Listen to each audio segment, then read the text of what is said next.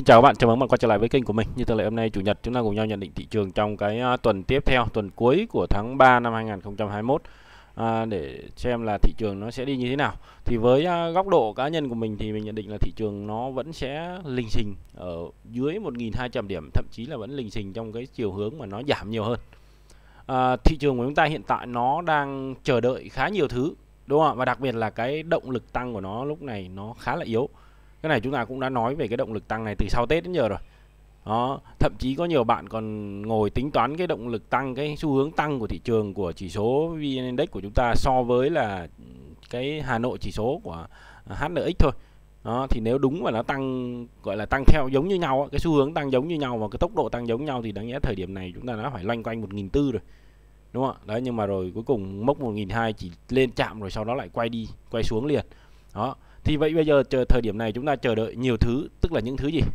Có lẽ cái thứ mà tôi hoặc các anh chị và chúng ta đang chờ đợi nhiều nhất đó là cái hệ thống giao dịch nó được trơn tru hơn, nó được thuận tiện hơn cho nhà đầu tư. Cái đó mới là cái người ta chờ đợi nhiều nhất và chính cái việc mà được khơi thông những thứ đó, nó sẽ giúp cho cái dòng tiền vào thị trường nó tích cực hơn. Chúng ta thấy thời gian vừa qua là khối ngoại bán rất mạnh, thậm chí khối tự doanh và các tổ chức trong nước cũng bán ra rất mạnh, bán rất nhiều hàng, ngày trong các cái bài đăng đầu đầu mỗi ngày tôi có có thống kê cho mọi người chia sẻ với mọi người là gì? Cái cái lượng bán ra nó cũng rất nhiều. Tức là nó là dòng tiền lớn ấy bản thân là dòng tiền lớn. Còn nhỏ lẻ chúng ta tất nhiên là tiền của nhỏ lẻ chúng ta nếu cộng lại thì nó hơn tiền lớn rất là nhiều. Đó, nhưng mà rồi cái nhỏ lẻ thì nó phụ thuộc vào cái tâm lý đầu tư và cái quan điểm đầu tư của mỗi người à, và phương pháp cách thức đầu tư của mỗi người. Cái thứ hai là gì? Cái dòng tiền nhỏ lẻ đôi khi là nó mang tính chất rời rạc và không có nó không có tác động nhiều nó không bị ảnh hưởng nhiều đúng không ạ? Đó thì có lẽ là chúng ta chờ đợi nhất là hệ thống nó được à, à, xuyên suốt nó được giao dịch nó hiệu quả hơn và gì nó nó thể hiện rõ cái cung cầu của nhà đầu tư cung cầu của thị trường để chúng ta có thể giao dịch nó hiệu quả hơn. Ngoài ra thì nhà đầu tư chờ đợi thêm cái gì nữa? Chờ đợi thêm là cái báo cáo kết quả của quý thứ nhất đúng không? Rồi chờ đợi thêm cái kết quả của mùa đại hội cổ đông. Đó mặc dù là chúng ta thấy dạo gần đây các cái báo chí các cái thông tin nó cũng đăng rất rất, rất nhiều rồi. Nhiều doanh nghiệp là dự báo kết quả kinh doanh quý 1 là tăng đột biến tăng rất mạnh vân vân. Đấy tức là đấy là những cái thông tin nó mang tính chất hỗ trợ doanh nghiệp khá là nhiều. À, tất nhiên đôi lúc chúng ta không phải là chúng ta đánh theo tin nhưng mà đó là một cái cái cái cách để mà chúng ta nhìn nhận cái thị trường nhìn nhận cái doanh nghiệp mà chúng ta đang đầu tư. Đó và thậm chí nhiều bạn còn nói là thời điểm này tốt nhất là không quan tâm chỉ số bởi vì chỉ số nó bị bóp nghẽn bởi nhiều thứ đúng không ạ? Thì gì chúng ta tập trung vào doanh nghiệp tập trung vào cái cổ phiếu mà chúng ta đang nắm giữ thôi thì nó sẽ hiệu quả hơn. Bởi vì sao? Bởi vì khi mà các bạn nhìn là chỉ số không vượt được 1.200 tức là không vượt được đỉnh lịch sử nhưng mà có rất nhiều các cái mã đặc biệt là các mã trụ các mã cổ phiếu lớn à, các mã lớn á, thì nó vẫn tăng vượt đỉnh tăng vượt đỉnh lịch sử tăng vượt đỉnh của chính nó thì như vậy rõ ràng là nếu chúng ta nên tập trung vào những cái cái mã mà chúng ta nắm cái cái ngành nghề mà chúng ta đang quan tâm chúng ta đầu tư thì nó sẽ hiệu quả hơn. Đó thì đó là một trong những cái cách thức một cái quan điểm. À, nhưng mà nếu chúng ta nhìn rộng ra nhìn bao quát về thị trường thì các bạn hình dung đấy là việc là gì? Đấy là việc thị trường bị bóp nghẽn bởi loanh quanh 1.200 tức là gì? Thị trường nó lình xình ở dưới 1.200 tức là nó không để cho giảm sâu mà không không lên được. Thì các cái mã đó mới có cơ hội bước đi. Còn tôi nói trong trường hợp xấu đi giả sử nếu các bạn nhìn lại thời điểm tháng 4 năm 2018 khi mà thị trường lập đỉnh xong mà rơi xuống, hoặc là như cái thời điểm ờ, tháng 3 năm ngoái, thời điểm này cái đây khoảng một năm, đúng không? Thì chúng ta hình dung khi mà một cái thị trường chung nó giảm thì chẳng có con nào đi ngược được, mà đặc biệt là các cổ phiếu lớn. Đấy là cái rõ ràng, thì chúng ta phải thừa nhận và chúng ta phải chấp nhận cái đó. Còn tôi nói rồi, nếu mà chỉ số vẫn cứ linh sinh ở dưới 1.200 tức là chúng ta vẫn phải quan sát chỉ số, chúng ta không thể quên chỉ số được, đúng không? Nó là cái cái chỉ, cái là cái cái cái định hướng của chúng ta, định hướng của thị trường chung đó, nó lình xình, nó không đi được thì có một vài cổ phiếu nhỏ hoặc là các cái cổ phiếu trụ nhưng mà nó nó nó rời rạc, nó đi, mỗi con đi một đoạn, mỗi con kéo một khúc thì nó vẫn cứ, cổ phiếu nó vẫn cứ tăng, nhưng mà chỉ số không đi được còn trong trường hợp chỉ số mà giảm sâu thì tôi nghĩ chả con nào mà đi ngược thị trường được. À, cái đó thì chúng ta cũng phải lưu ý và chúng ta phải phải quan sát cho kỹ chứ không phải là ờ, thôi em cứ nắm cổ phiếu em chả quan tâm chỉ số kệ nó. Thì cái đấy là cái cách mà chúng ta tư duy để chúng ta đầu tư ở một góc nhìn nó nhỏ hơn. Và chính bản thân chúng ta chính cổ phiếu chúng ta đang nắm giữ thôi. À, còn động lực chung của cả thị trường thì chúng ta cũng vẫn phải theo dõi. Đó thì tất cả những thông tin mình tổng hợp nhận định chia sẻ nó là quan điểm cá nhân để mọi người tham khảo không phải là lời khuyên hay là khuyến nghị đầu tư. Bây giờ chúng ta quay trở lại với thị trường thì à, à, phiên à, ngày thứ năm mà phiên đáo hạn phái sinh thì chúng ta thấy là có một cái sự tăng đột biến và kéo các cổ phiếu trụ rất mạnh và điểm số thì đóng cửa là cao nhất phiên cao rất bất ngờ tăng hơn 14 điểm. Đúng không? không ai nghĩ là hôm đấy là đóng trên 1.200 đó. Và bản thân thị trường mở một cái gap đi rất là lớn. Nhưng đến phiên thứ sáu phiên thứ sáu là phiên các cái quỹ ETF nó tiến hành cơ cấu danh mục thì à, nó lại cũng sẽ cũng có rất nhiều các cái bất ngờ bản thân là thị trường nó khoảng tầm 1 giờ 15 1 giờ 18 phút là nó đã đơ rồi. 1 giờ 8 buổi chiều nhá. Tuy nhiên đến phiên ATC thì chúng ta thấy có một cái lượng hàng rất lớn được bán ra với cái giá rất thấp. Thậm chí là họ đặt bán với giá sàn. Bán ATC bán bán bán giá sàn luôn. Không cần ATC ATSOT thì cả họ cứ đặt. Và có cái khối lượng khớp cũng rất lớn. Nếu nếu bạn nào nhìn kỹ lại về cái khối lượng khớp lệnh trong trong cái phiên, trong cái phiên mà ATC đấy thì chúng ta sẽ thấy là tại sao lệnh vẫn vào được khi mà thị trường nó vẫn đơ. Đấy là những cái câu hỏi mà chúng ta cũng vẫn phải phải lưu tâm mà phải quan sát. À, ví dụ phiên khớp lệnh à, phía cái cái khớp lệnh vào cái phiên ADC của BVH là 513.000 cổ này. Rồi à, Novaland là tới 1 triệu 9 này. Pâu là tới 2 triệu rưỡi này. Đó các bạn thấy khối lượng khá khủng đúng không? Vinhome tới 800 ngàn này. Tài chính Hoàng Huy 850 nghìn này. VRE tới gần 3 triệu cổ này à, Vietjet 500 ngàn. À, VIX 322 ngàn. À, Vietcombank cũng tới 625 nghìn. Thế khi, khi mà toàn bộ hệ thống đơ chúng ta không vào được lệnh vẫn có một lượng hàng rất lớn được mua bán được um, giao dịch ở trên này. Thế tại sao được? Họ đặt lệnh kiểu gì? Thế tại sao biết cách đặt lệnh mà không nói cho cộng đồng biết đúng không ạ? Hay là họ có con đường riêng họ có cách thức riêng để mà họ đặt được cái này? Thì đấy nó càng làm cho cái vấn đề nó càng trở lên là là mang tính chất là không rõ ràng là tôi nói thẳng rõ ràng là thị, bản thân thị trường đang là không rõ ràng. Nó vẫn có người đạt được lệnh. Đổi thừa cho công ty chứng khoán nhỏ công ty chứng khoán lớn và chẳng nhẽ khối lượng cổ phiếu rất lớn như thế này lại nằm ở những công ty chứng khoán nhỏ hay sao? Các quỹ ETF nó đầu tư vào các công ty chứng khoán nhỏ hay sao? Tức là nó nó mua nó mở tài khoản thông vào các công ty đó để nó đặt lệnh bán ra hay sao? Các bạn thử thử cho mình một cái suy nghĩ và một cái góc nhìn. Vẫn có gì đó ha vẫn có gì đó không rõ ràng trong những cái thời điểm như thế này. Đó thì, thì bản thân thị trường hôm đấy nó cũng đóng cửa giảm điểm đúng không ạ? Giảm khoảng à, 0,57% tức là khoảng gần giảm mất gần 7 điểm. Mất gần 7 điểm. Đó và chúng ta thấy là cái cái khối lượng giao dịch hôm đó tăng. À, RSI thì đang có xu hướng là trúc xuống. Đó. Và gì nữa? Chúng ta nhìn cái MA20 cái phiên phiên phiên mà phiên thứ năm đáo hạn là mình có làm clip mình cũng có nói mọi người rồi. Khi mà những cái thời điểm mà chỉ số nó chỉ tăng rất ít điểm thậm chí lình xình đi ngang như thế này mà MA20 nó vẫn ngóc lên rất mạnh nhưng mà tại sao cái cây gáp lên rất mạnh như thế này? Nhưng mà MA20 lại có xu hướng quay ngang và thậm chí bây giờ muốn rũ xuống rồi. Đó. Ở đây chúng ta nhìn qua cái tình hình thế giới một chút xíu. Đây là chỉ số Dow Jones. Dow Jones phiên cuối tuần vừa rồi thì lại bị bán rất mạnh. Đây là chúng ta thấy cái thanh khoản của Dow Jones gần như là cao, rất là lớn trong cái cái cái tuần vừa qua. Thì người ta cũng theo theo một số thống kê mới nhất mà chúng ta nhận được là trong tuần vừa qua khi mà gì?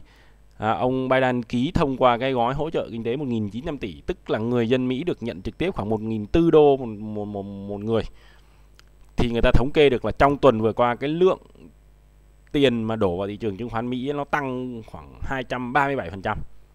Dòng vốn vào thị trường chứng khoán Mỹ tăng 237% trong tuần vừa qua. Tức là nó đạt khoảng 56,7 tỷ đô la. Đúng không ạ? Rồi dòng không chỉ là vào vào thị trường chứng khoán đâu mà nó vào các cái quỹ ETF cũng tăng khoảng 210%. Tức là các bạn thấy nó mức độ tăng của nó rất là khủng khiếp.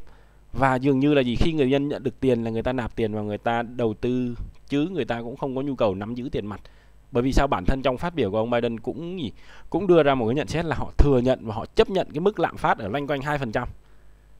À, các bạn thấy khi mà quá trình lạm phát diễn ra tôi tôi có đăng trong nhóm tôi vẫn nói tôi vẫn chia sẻ mọi người là gì khi mà lạm phát diễn ra thì thường là tiền nó sẽ mất giá và gì và người ta không muốn nắm giữ tiền mặt nữa mà người ta sẽ tập trung vào những cái tài sản mang tính an toàn hơn.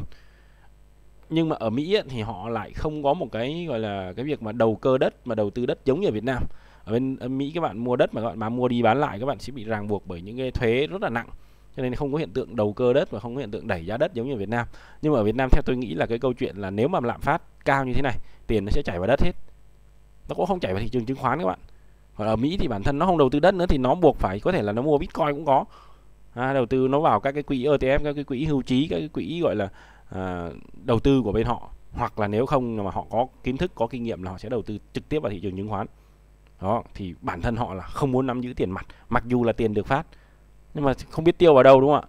Đó thì bây giờ cái xu hướng như vậy. Trong tuần vừa qua chúng ta thấy khi nhận được tiền thôi là đã thấy câu chuyện đó rồi. Đó và như tuần trước mình nhận định là chúng ta thấy là nó tạo cái mô hình hai đáy thì mình nói tuần vừa rồi nó tăng tiếp. Nhưng mà vô hình dung bây giờ nó lại tạo mô hình hai đỉnh hai đỉnh nhỏ đây các bạn thấy không? Đó đây là hai đỉnh nhỏ. Hôm trước tạo hai đáy cái tuần trước mình làm là nó nằm đâu đây? Đúng không ạ? Đó khúc này nó nó sẽ tăng. Tăng trong về phiên cuối tuần. Và gì nữa? Và khi cái dòng tiền nó được tập trung vào thị trường nhiều thì chúng ta thấy cái thanh khoản nó đẩy thanh khoản lên khá là nhiều. Các bạn để ý thường là những cái phiên cuối tuần đó là cái cái thanh khoản của Mỹ khá là cao tức là người ta thường người ta cũng không ôm lệnh qua tuần. Bản thân um, thị trường Mỹ thì nó đánh hai chiều được. Giả sử người ta có long lên sọc xuống gì đến cuối phiên người ta vẫn phải chốt ta thường là cuối tuần người ta sẽ chốt hết toàn bộ các cái lệnh của người ta cho nó sẽ đẩy thanh khoản những cái phiên cuối tuần nó lên khá là cao thì chúng ta chú ý vào, vào những cái cây nến vào cuối tuần của nó như thế này. Đó thì uh, rõ ràng đối với cái quá trình mà thừa nhận lạm phát như vậy thậm chí nhiều chuyên gia thậm chí nhiều chuyên gia cựu chuyên gia của Mỹ à, cựu các cái gọi là nguyên thủ các ông mà từng làm trong những ngân hàng lớn của Mỹ thì ông còn dự báo rằng cái ông nói rằng cái cái phát biểu của chủ tịch Fed thì nó nó mang tính chất là ờ, không có chuyện gì để nói tức là người ta bảo lạm phát ở Mỹ hiện tại nó đang xoay quanh 2% rồi nó cận 2% rồi cho nên để mà mục tiêu duy trì lạm phát đó thì nó không không không khả thi và nhiều người còn báo là từ giờ đến cuối năm khả năng lạm phát nó phải tăng khoảng 2,7% chứ không phải là 2% nữa. Và tất nhiên là gì? Chấp nhận lạm phát để mà tăng trưởng kinh tế, tăng trưởng GDP và họ dự báo là tăng trưởng GDP của Mỹ loanh quanh khoảng 6 cho đến 8% trong khoảng từ giờ cho đến năm sau. Thì đó là một cái tốc độ phục hồi kinh tế cũng cũng khá là nhanh. Đó, nhưng mà quan trọng là cái lạm phát nó có tăng nhanh hơn không? Ờ, nếu mà người ta bảo là nếu mà lạm phát nó tăng khoảng hơn 2,5% thì có khi lại phải quay ngược lại để mà kiềm chế lạm phát chứ không phải để câu chuyện này xảy ra đúng không ạ? Và chúng ta thấy là trong tuần vừa qua thì cũng có những cái thông tin liên quan đến việc là ông ờ, chính quyền của Mỹ thì bây giờ đang khá là cứng rắn đối với Trung Quốc đối với Nga. À, tuần vừa qua thì cuối tuần vừa qua cái hội đàm giữa Mỹ và Trung ở Alaska nó khá là căng thẳng. Và khi mà kết thúc hội đàm thì lại không có cái tuyên bố chung tức là gì? Họ, họ, họ tọa đàm với nhau cả buổi cả ngày đó nhưng mà không đạt được vấn đề. Thậm chí là có những cái tranh cãi khá là gay gắt phóng viên còn bị đuổi ra ngoài. Đó, không cho để cho các bố cãi nhau chơi. Đó thì cũng chưa chưa biết là chuyện gì sẽ xảy ra. Đoàn Trung Quốc thì cũng rất là bực mình. Bảo là thậm chí là còn bị Trung Quốc uh, bị bị uh, Mỹ nó chèn ép ở, ở Alaska đúng không? Tuần sau thì uh, Nga và Trung Quốc cũng sẽ có một cuộc hội đàm. Đó thì có thể đây là một cái ừ, có thể là một cái chính sách khá là cứng của của chính quyền Biden đối với Nga và Trung Quốc trong cái thời gian này. Và bản thân những cái khó khăn như vậy trong hiện tại trong cái mối quan hệ giữa các cái nước lớn đúng không thì nó cũng đang tác động và ảnh hưởng đến cái tâm lý của nhà đầu tư khá là nhiều. Rồi gì nữa? Đây là chúng ta thấy là thị trường chứng khoán Trung Quốc à, chứng khoán Trung Quốc đang giảm khá là mạnh. Bản thân thị trường Trung Quốc là đang có những cái tuần giảm điểm là mạnh nhất trong vòng khoảng à, từ năm 2016 đến giờ tất nhiên là khi đối với thị trường Trung Quốc thì người ta đang lo sợ là cái định giá của thị trường nó quá cao tức là người ta nghĩ là bong bóng đó. Ngoài ra là người ta lo sợ rằng cái vỡ nợ trái phiếu đúng không? Và cái người ta sợ nhất đó là gì? Cái cái chính sách mà thắt chặt tiền tệ của Trung Quốc có khả năng nó đang diễn ra. Bản thân trong tuần vừa qua trong tháng cả tháng vừa qua là các cái uh, các cái quỹ của nhà nước Trung Quốc là họ đang cố gắng can thiệp để mà ổn định để mà nó đỡ rớt hơn đỡ giảm hơn nhưng mà không có hiệu quả. Chúng ta thấy là bản thân nhà đầu tư người ta cũng uh, cũng khá là tỉnh táo đúng không ạ? Khá là tự chủ người ta cũng tháo chạy khá là nhanh. Đó.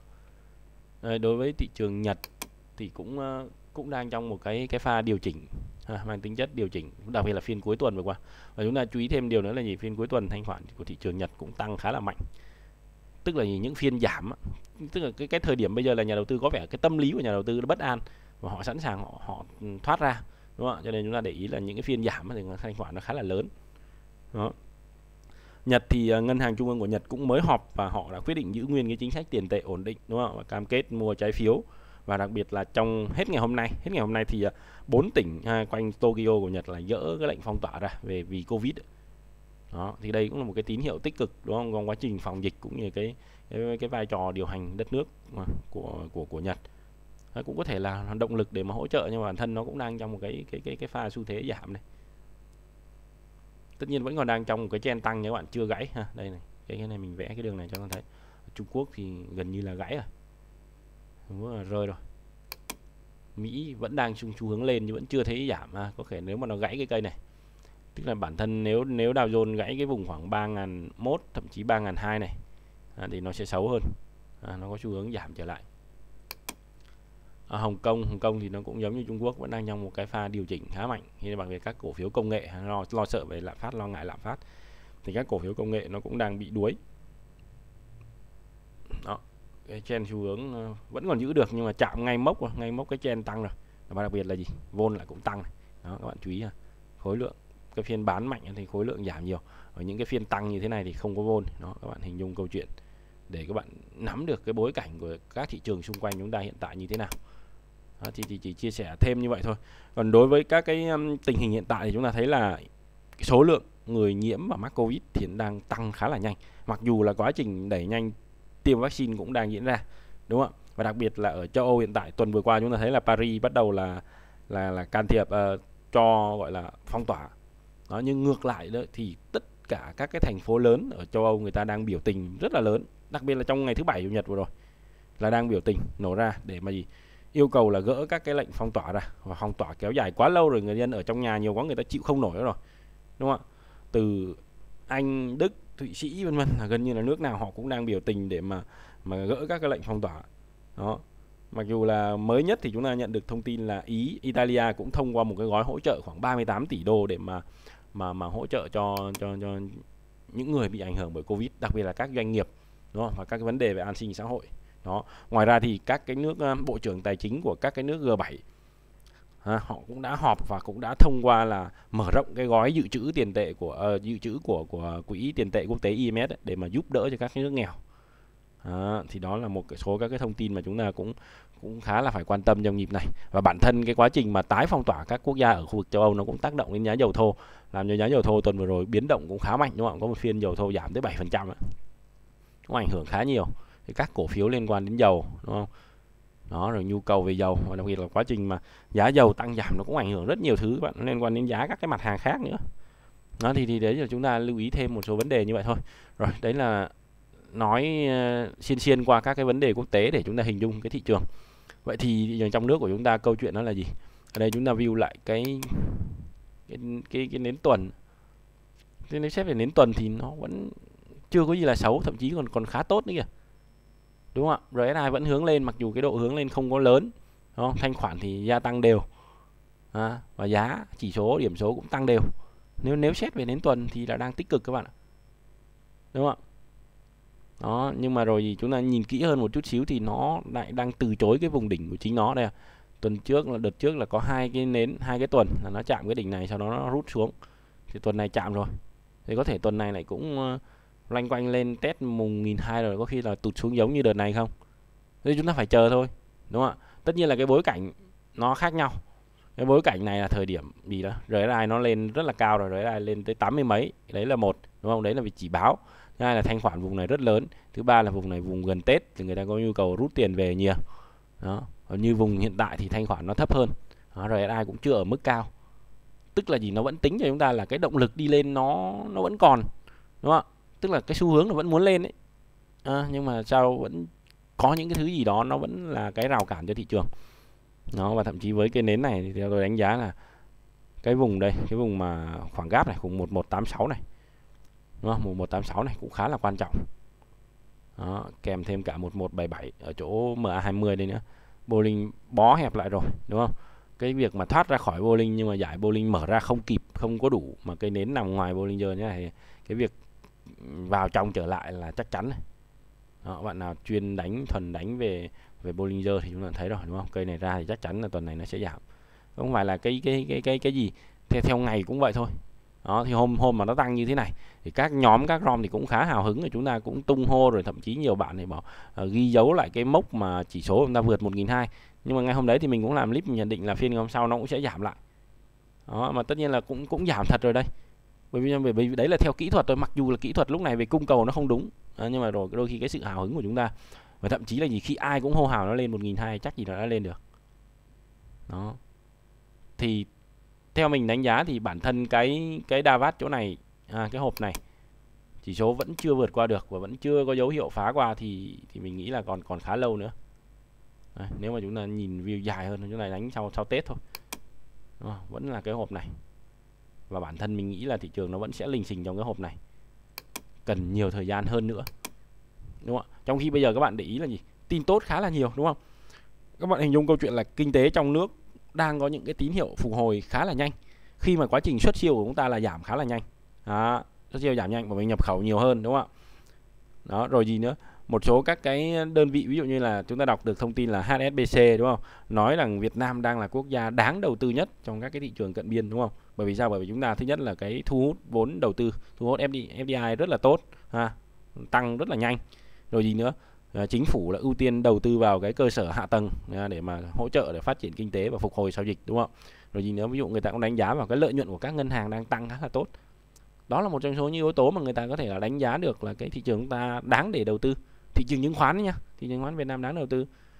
Ngoài ra thì ví dụ ngân hàng Standard Charter thì nó dự báo rằng à, cái tăng trưởng GDP của chúng ta sẽ tăng khoảng 6 đến 8 phần trăm trong những năm tiếp theo. Thì có rất nhiều cơ hội đầu tư ở Việt Nam. Đó, tức là đấy là những cái đánh giá khá là tích cực từ những cái tổ chức mà mang yếu tố nước ngoài. Nó nó khá là là khách quan đúng không ạ? Đó rồi thì bản thân nội tại của nền kinh tế cũng đang có những cái dấu hiệu phục hồi tốt. Thì thì tại sao chúng ta lại lại không đi được đúng không ạ? Nó vẫn có nhiều vấn đề. Ví dụ như chúng ta hình dung câu chuyện là khi mà giá xăng dầu nó tăng cao đúng không? Thì nó sẽ đẩy cái CPI của chúng ta tăng bởi vì giá các mặt hàng khác nó cũng sẽ tăng theo. Đó. thì đấy là cái cái mà về về kinh tế, về những cái điều kiện ừ, ở ngoài thị trường mà chúng ta hình dung được. Đó, nhưng mà rồi chúng ta chỉ có yếu tố về vĩ mô, chúng ta cũng có thể là phân tích, chúng ta thể biết được. Nhưng mà cái, một cái thực tế lớn nhất của thị trường bây giờ vẫn là gì? Khơi thông được cái hồ sơ để mà cho chúng ta giao dịch cho nó an toàn. Hệ thống mới, hệ thống cũ, nâng cấp, chuyển sản, vân vân, cách làm thì cách tôi nói là phải làm nhanh thì mới được. Tôi vẫn nói vui với mọi người là gì? Đấy, nãy chúng ta phân tích yếu tố là gì? Tiền ở Mỹ bây giờ nó nhiều, nó chảy vào thị trường chứng khoán, nó chảy vào coin, nó chảy vào đâu đó, tôi không biết. Nhưng ở Việt Nam thì nó có một xu hướng là tiền nó sẽ chảy vào đất. Và các bạn hình dung câu chuyện là giá đất đang bắt đầu có dấu hiệu nóng lên. Các bạn nếu mà theo dõi kỹ về dòng tiền, các bạn cũng sẽ thấy điều này. Giá đất bắt đầu nóng lên. Nhưng cái câu chuyện người ta đầu tư đất, chúng ta vẫn phân tích là gì? Hết sóng chứng khoán là chuyển sang sóng đất. Nếu giả sử bây giờ sóng chứng khoán kết thúc ở đây thật thì tôi nghĩ là cái xu hướng giảm nó sẽ còn dài hơn. Và tôi hay nói vui mọi người rằng rất lâu sau chúng ta sẽ lại nhắc với nhau về vùng 1.200 cái đó là một cái thực tế mà chúng ta cũng cũng phải thừa nhận như vậy. Đúng không ạ? Rất lâu sau. Đó. Bởi vì sao? Khi mà tiền nó chuyển vào đất ấy, mặc dù là nó sẽ tạo ra sóng của bất động sản đúng không? Một cái sóng bất động sản cũng cũng lừng sừng khá lâu rồi. Bây giờ tạo sóng bất động sản. Nhưng ở Việt Nam thì cái câu chuyện chúng ta lấy luân chuyển dòng tiền tức là gì? Tiền mà nó từ bất động sản mà nó chuyển vào thị trường chứng khoán thì có lẽ cần nhiều thời gian hơn bản thân chúng ta đi đầu tư đất cũng vậy, chúng ta không thể nào lướt sóng trong trong ngày, trong tháng mà chúng ta có thể lãi ngay được, lãi nhiều được. Đó. Thứ hai là gì? Chúng ta tham gia là phải tiền lớn. Và khi tiền lớn nó đi thì nó sẽ đi chậm hơn là tiền nhỏ rồi. Đúng không ạ? Đấy, thì câu chuyện của chúng ta cũng phải thừa nhận này. Tôi nói nếu mà không làm nhanh, không khắc phục nhanh để mà gì? Để mà chỉ số nó có thể break 1.200 nó đi. Mà tôi nói giả sử bây giờ nó có break 1.200 nằm trên 1.200 rồi thì cái việc mà đi nhanh, đi mạnh nó cũng sẽ rất là khó bởi vì nó nghẽn mà tiền không vào sao anh khơi thông được? Giống như anh đi vào một cái sân vận động, anh phải xếp hàng. Thì anh vào lần lượt chứ anh đâu thể vào ào ào ào được. Đi ra cũng thế thôi. Đó. Nhưng mà câu chuyện là chúng ta thấy dòng tiền lớn rút ra. Trong tuần vừa qua chúng ta thấy là khối tự doanh là bán ròng, ha. Tính tổng ra là khối tự doanh bán ròng khoảng 75 tỷ. Nhưng ngược lại là khối khối tây, khối khối khối nhà đầu tư nước ngoài, người ta bán ròng hơn 3.000 tỷ 3.200 tỷ trong cái tuần vừa qua. Đấy, tiền lớn đó. họ rút ra. Tất nhiên họ về, có thể là họ rút tiền về quốc gia của họ, đúng không ạ?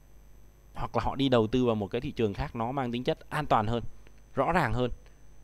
Bởi vì rõ ràng là gì? Chúng ta lại đặt câu hỏi ngược lại là gì? Như cái nãy một số các cái phân tích lúc nãy tôi nói là gì? Ở các cái thị trường lớn như Mỹ hoặc các thị trường khác, người ta không quan trọng, tức là người ta không ưu tiên nắm giữ tiền mặt nha các bạn. Vậy thế tại sao cái đội này nó bán bán cổ phiếu ở Việt Nam, nó lấy tiền về làm gì? Chẳng nhẽ nó lại ngu đến mức mà nó bán ra để nó cầm tiền à? Không phải, nó sẽ đầu tư thứ khác, có thể nó chuyển vào một cái thị trường khác mang tính chất an toàn hơn thị trường chúng ta khi mà chúng ta có nhiều thứ quá không quá rõ ràng, đúng không ạ? Đó là một cái hạn chế. Cái thứ hai là dòng tiền của nhà đầu tư cá nhân cũng vậy, đang trong thị trường. Tôi nói, tôi cảm nhận nó vẫn còn trong thị trường nhưng nó chỉ là cầm chừng thôi. Nó loanh quanh bằng này thôi, đúng không? Và có thể nó vẫn chưa rút ra nhưng mà tôi nói để lâu quá là dòng tiền này nó sẽ chán nản và nó rút ra. Và khi rút ra mà nó chuyển vào đất rồi, tôi nói là rất lâu sau nó mới chuyển vào lại thị trường chứng khoán. Cái đó là một cái thực tế chúng ta sẽ phải thừa nhận. Và bạn nào theo dõi thị trường chứng khoán lâu, bạn, các bạn sẽ hình dung câu chuyện đó hình dung câu chuyện về thanh khoản thị trường chứng khoán khi nào nó sẽ tăng trở lại? Mặc dù là chúng ta thấy là trước cái bối cảnh mà thị trường tăng rất mạnh cái nhịp trước tết này cả về margin cả về tiền thật thanh khoản bị nghẽn như thế này. Đó, thì chúng ta thấy là có những thông tin là các công ty chứng khoán là đợt này thi nhau là tăng vốn tăng vốn gấp đôi đúng không? Bằng cách phát hành cổ phiếu giữ lại lợi nhuận này phát hành riêng lẻ vân vân nhiều cách lắm. Đa phần sẽ tăng vốn điều lệ gấp đôi. Để mà gì? Tăng cái khả năng cho vay margin hiện tại cái quy định là margin nó chỉ khoảng hai phần trăm ờ, hai lần vốn điều lệ thôi. Hôm vừa rồi có chính sách là nới lên 5 năm lần vốn điều lệ rồi. Nhưng mà giờ họ vẫn tăng lên tiếp tức là họ vẫn kỳ vọng là khi mà được khơi thông hoặc là cái hệ thống mới được vận hành dòng tiền nó vào thị trường còn nhiều hơn nữa và cái tỷ lệ margin nó cao hơn nữa thì lúc đó một ngày chúng ta giao dịch hơn 20.000 tỷ nó quá bình thường. Chứ không phải là cứ loanh quanh 13 14 nghìn tỷ là đơ như bây giờ. Đó đó mới là cái sự kỳ vọng mà theo tôi nghĩ phải làm nhanh thì mới được. Còn khi cái cái đội này cái đội nhỏ lẻ này mới là nó có thể là gì chúng ta vẫn nói là nhỏ lẻ đang cân cả tây đang cân cả thị trường cân cả tự doanh cân cả à, tổ chức cân cả khối ngoại vân vân cân hết. Nhưng mà rõ ràng khi mà họ chán nản họ rút ra rồi. Đó, họ cảm thấy không kiếm ăn được nữa họ rút ra họ đập vào đất rồi. Tích chữ vào đấy rồi thì rất lâu sau cái tiền đó nó mới quay trở lại đúng không? Vì đất nó không có lời nhanh giống như cái này. Đó, mặc dù là sóng mặc dù có sóng mặc dù có bong bóng hay gì đó không cần biết. Nhưng mà để rồi đôi khi là gì? Các bạn hình dung đối với dòng tiền nếu các bạn đầu tư các bạn đang đang đầu tư chứng khoán, khó kiếm ăn như thế này. Mà các bạn chuyển ra đầu tư đất, giả sử trường hợp đất lâu lên thì thấy lâu tiền lâu vào là đúng rồi. Nhưng mà trường hợp đất có lên nhanh thì người ta lại cảm thấy dễ kiếm ăn ở thị trường bất động sản hơn thì người ta lại không quay lại đây nữa, nó cũng đúng. Tức là có rất nhiều lý do để nếu dòng tiền ở đây rút ra, nó sẽ rất lâu quay trở lại. Thì cái đó là các bạn phải phân tích yếu tố đó. Và cá nhân tôi đánh giá là thị trường nhịp này vẫn chưa thể vượt được 1.200 trong tuần tiếp theo. Nó có lẽ là là là tôi đánh giá là nó đi trong một cái biên có thể là nhỏ hơn đó, khoảng 1195 cho đến cái đường MA20 này. Đó, nó sẽ đi trong cái biên này thôi. Không lên mạnh mà chắc cũng không có giảm sâu. Đó, chúng ta sẽ sẽ cố gắng mà chúng ta theo dõi. Tất nhiên là thị trường nó vẫn đang đang ở một góc độ mà chúng ta thấy là cái cái cái cái tích cực là gì? Nó vẫn chưa gãy M20 nó cứ chạm M20 rút lên chạm M20 rút lên. Cái đó là ổn. À, chúng ta vẫn thấy đó là một cái gọi là cái động lực chính mà của thị trường tức là những thứ mà chúng ta nhìn thấy mà mà còn đủ tự tin cho cái thị trường nhịp này là như thế còn nếu gãy luôn MA20 gãy MA50 thì tôi nói rồi rất nhiều lần rồi. khoảng trời chỗ này khá là mênh mông đúng không? Đó, thì thôi một số ý chia sẻ trong cái video ngày hôm nay như vậy thôi. Còn ở góc nhìn nào thì chúng ta thấy là một số cái cổ phiếu riêng lẻ có thể nó, nó vẫn sẽ tăng. À, nếu thị trường lình xình trong vùng này. Đó thì tất nhiên là quá trình mình thì mình vẫn ưu tiên là là chọn giải pháp là đứng ngoài cho nó an toàn. Đấy, còn các bạn vẫn không đủ kiên nhẫn hoặc các bạn muốn luân chuyển dòng tiền nó nhanh các bạn muốn mua lướt sóng trong nhịp này thì chúng ta cũng lựa chọn cổ phiếu cho nó thật thận trọng vào chứ không phải là cố và đặc biệt là không sử dụng margin trong giai đoạn này đó, rồi trong nhóm mình thì các cổ phiếu mua được thì có thể là mình sẽ chia sẻ với mọi người trong cái cái phần nhận định Zalo ngày mai. Rồi, xin chào hẹn gặp lại các bạn trong những video tiếp theo. Chúc các bạn một tuần giao dịch hiệu quả. Xin chào.